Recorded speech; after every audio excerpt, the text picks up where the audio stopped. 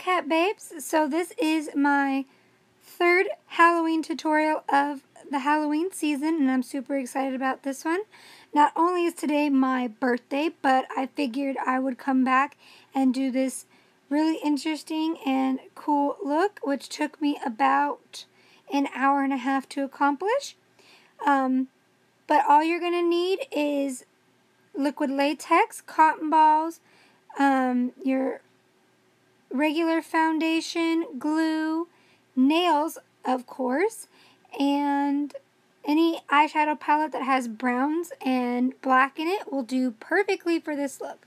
So what you want to do, go ahead and draw an outline on your face where you want the look to start.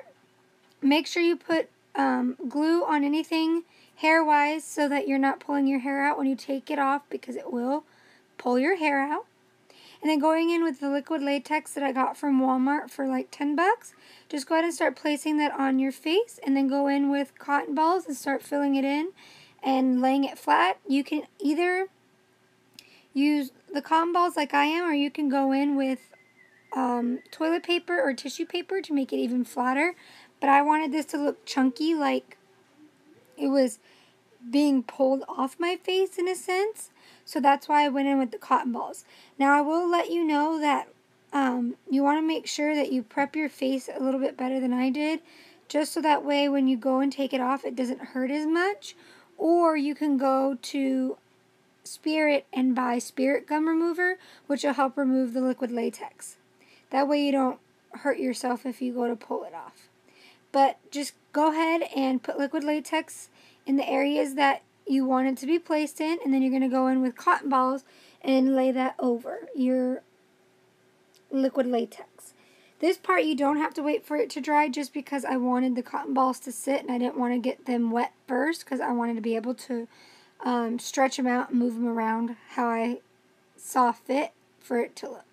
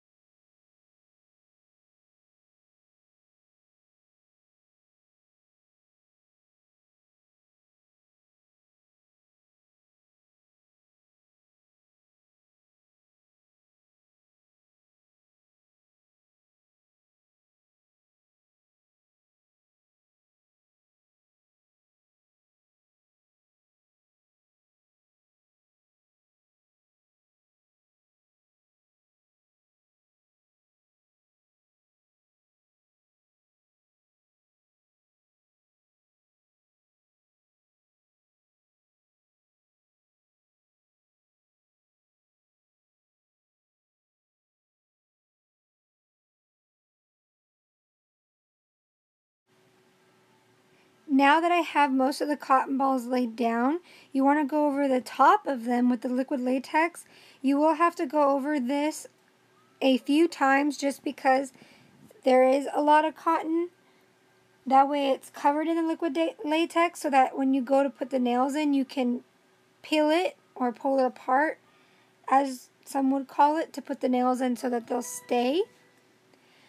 Um, if you want to make this a quicker look and you don't want to do it like this, I would suggest putting the cotton balls and the liquid latex first and then putting them on your skin. But have them stretched out the way you want them first just because I did find I was having a little bit of trouble getting the liquid latex to stay on the cotton balls after I had placed them on my face because um, they want to move when you make them wet from the liquid latex. So if you want to make it easier on yourself, put them in the liquid latex first.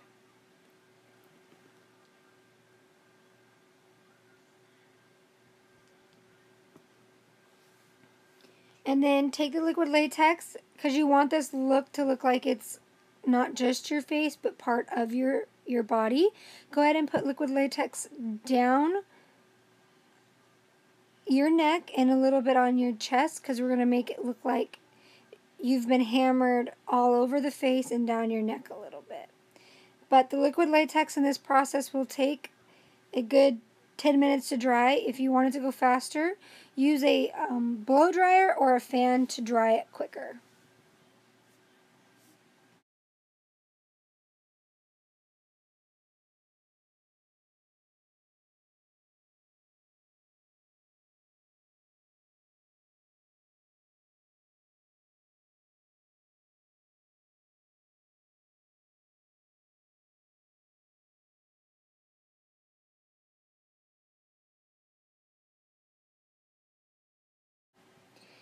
Now that we have the liquid latex sort of semi-dry and in place where we want it, go ahead and take whatever sort of nails that you want, thick ones, tiny ones, and start to place them where you want them. I did this while it was still wet because I didn't want to have to go back with a ton of liquid latex to make them stay. Um, but I will let you know that this was hard to put them in because the liquid latex and the cotton balls don't really um, puncture as well as tissue paper or toilet paper. But what I would suggest is put the nails in after you do your foundation and your nail, your nails, sorry, after you do like, like the design that you want on it first because I found it a little hard to get it around the nails, like the foundation and stuff, because I had already put the nails on and I couldn't get behind the nails. So I just went in with the eyeshadow I wanted to use behind it in order to make it look like the nails were embedded in my skin. So I put the nails wherever I thought they would look the best at. There is no rhyme or reason for where I put them. I just thought they would look nice where I was placing them because my inspiration, even though it doesn't really look like it, I thought of the hammer from the 13th Ghost. That is one of my all time favorite movies. But I figured this would be something along the lines of the burned woman and him from the movie.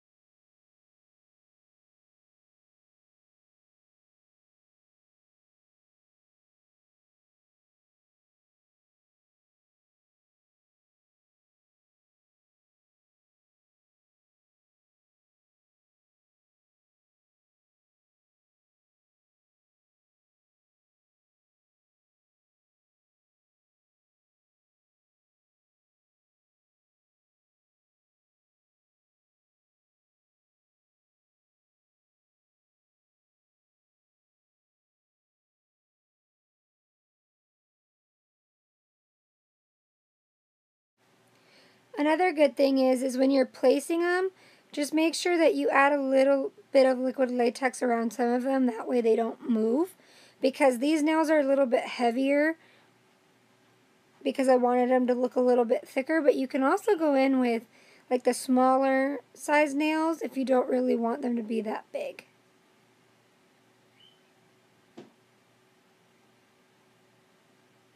And be careful when you're doing this as well so you don't poke yourself because they will poke you because they have sharp ends and you don't want to hurt yourself trying to do this look.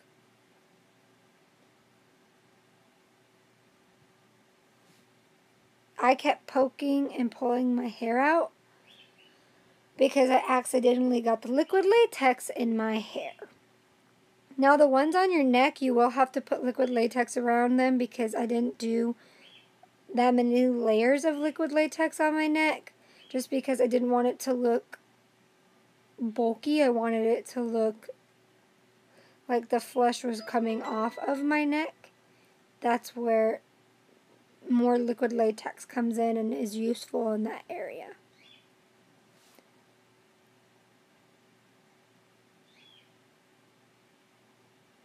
And be careful, like really careful if you're going to put anything by your eyes or towards your eye because you do not want to poke your eye out.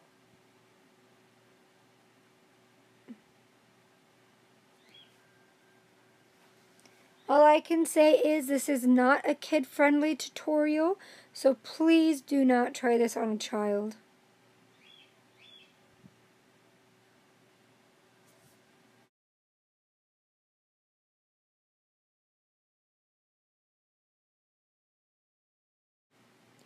Now going in with any foundation that you use, just go ahead and put that one on the other side of your face as well as all over the liquid latex to make it look like it is part of your skin. And be careful that you don't rip the nails out because I almost did that a couple of times trying to put the foundation on. This is why I would suggest putting the foundation on first before you go in with the nails.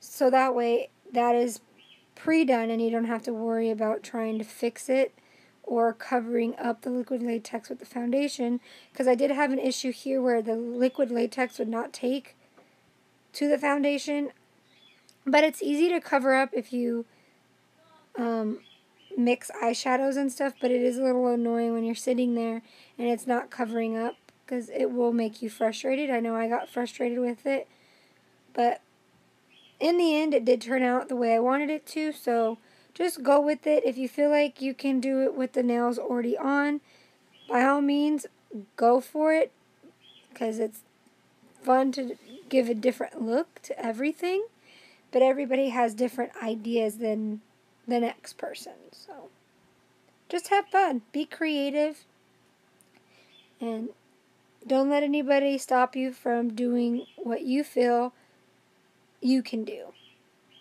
I never thought I'd be able to do something like this, and I was like, I'm gonna do it, and I did it, and I looked at it, and I was like, man, I did it.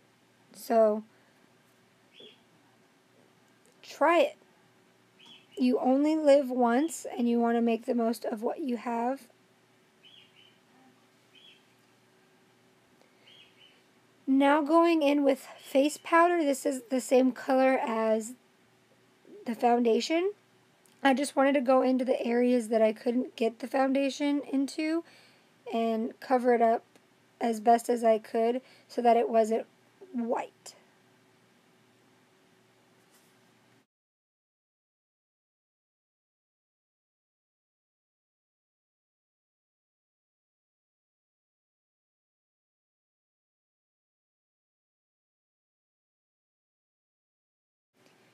Now going in with scab blood, just go ahead and put that around the areas that you put the nails so that way those areas do stand out.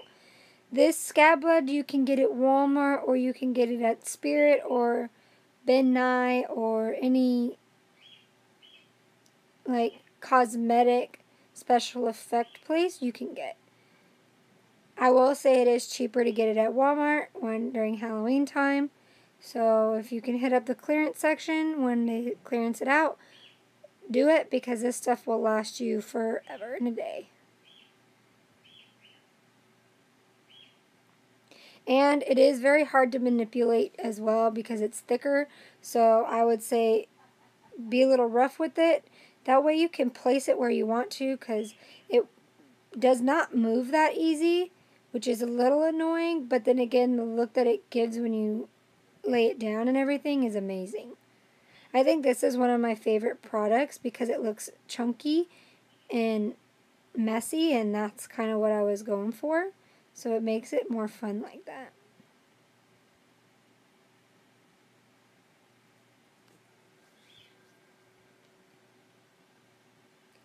Do any of you guys like to create special effects looks on your own time at home? If you do, leave me a comment below and show me a picture of what you do because I would love to see other looks and ideas from you guys.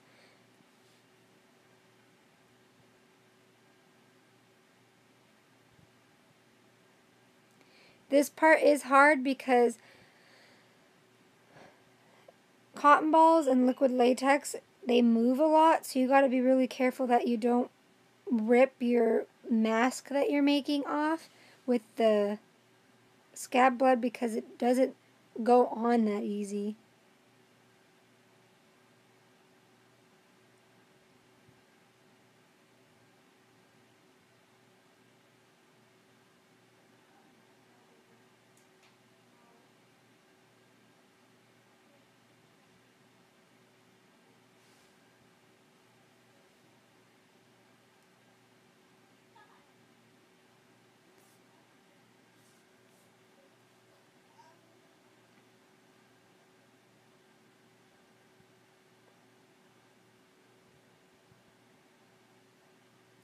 Then going in with just regular like synthetic blood that you can get at Spirit. Um, I just put that all over the top of it because I wanted it to look like burned skin. But we will be going over the top of it with different colored foundations like dark browns and a, a black shade. So just place it all over what you've covered up with your foundation and just pat it out. You don't have to do all of it if you don't want to, but in the end result will look the same with just doing the eyeshadows. And play around with it like it doesn't just come out the way you want to the first time. Normally it doesn't, but if it does, that's amazing. But just play around with it. Like I would sit there and I looked at it a little bit and I was like, oh, it could use more here, it could use more there. Just don't second guess yourself because that's when you'll be like, I can't do this. And I don't ever want you guys to feel like you cannot do something like this because believe it or not, I only really started to do liquid latex more so this year than any other year just because I was like, this year is going to be different. I can do something different this year, and that's why you've seen more liquid latex looks this year than you did last year because this year I told myself I could do this. Now going in with the Morphe 3502 palette, I'm using the darker brown shades in the palette and the light brown shades and I'm just mixing those in and around my entire messed up part of my face and just blending. Now this part will take a little bit because you got to be careful. Make sure you use brushes you do not like because the stuff does get in the brush and I wouldn't want you to use a brush that's your favorite and then you have to throw it away because you can't get it out. Now just strategically place the browns all over the place, blend, blend, and blend. I cannot reiterate this enough. Blending is always going to be key, the key in this step just because you want to make it look like it happened in that moment. And when you rush, it doesn't come out the way you want it when you do that. So you notice how it's starting to look real when you're doing the different colorations with the, the dark and the light browns. Just keep doing it and take your time. It took me over an hour and a half, maybe two hours to do this. So it's not easy. Like the video may show you 23 minutes, 25, half an hour. But we speed it up and it is a lot longer than what I'm showing you. I don't want you to have to sit there for an hour and watch me show you how to do this and things like that. I want you to see the final product and how you can personally achieve it.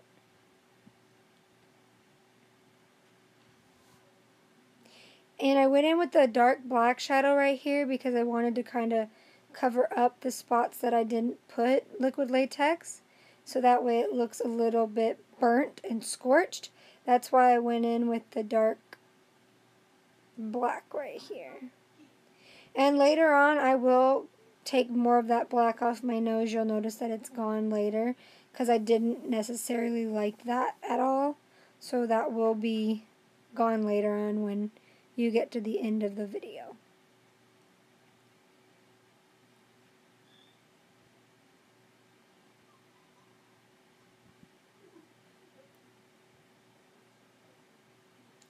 And I will let you know, I didn't know how this was going to turn out, if I was going to like it, because I was just going in back and forth with the browns and the black all on the same brush, so I didn't know if it was going to come out nice or not.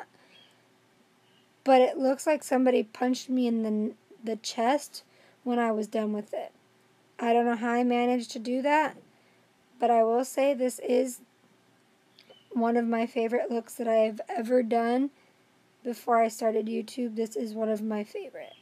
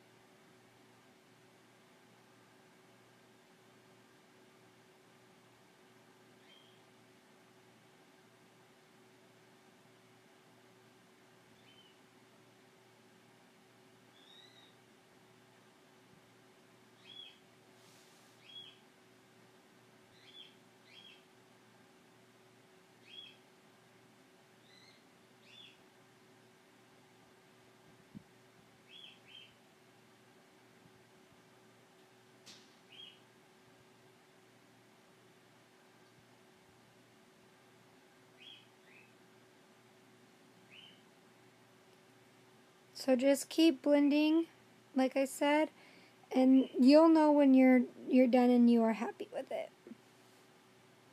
So then going on to the next step, taking the same palette, I went with a dark browns to do this eye look, just so it matched a little bit of what I was going for on the burn side.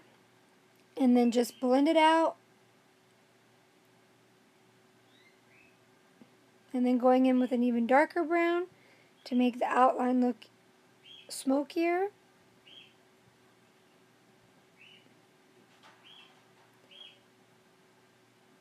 I love these colors because it's so like me.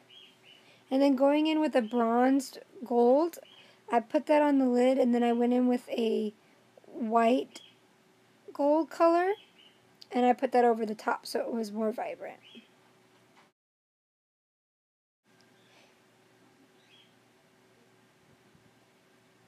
After putting the concealer on your face, go ahead and put the powder that you like over it and the powder on your your neck, your forehead, and your chin.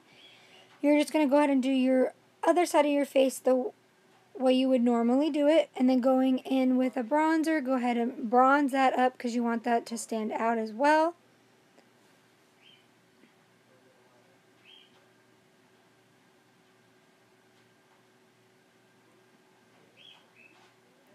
And then make sure you use a really bright highlight because you want it to stand out as like a focal point for people to look at you. And then going in with any dark black eyeliner, go ahead and put that on the top and bottom of your lower lid and eyelid. Make sure you do your brows too because your brows have got to be on point. Got to have that.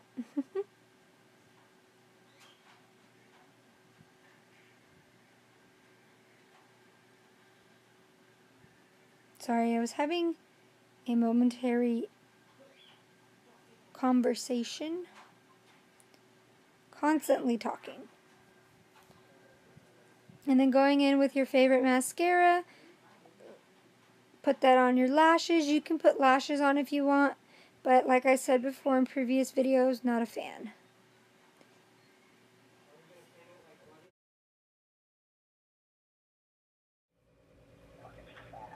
And this is the final look. Thank you guys so much for watching. If you enjoyed this video, please give me a thumbs up, like, comment, subscribe if you haven't already to join the cat family. And I will catch you in the next one. Thank you. Bye, guys.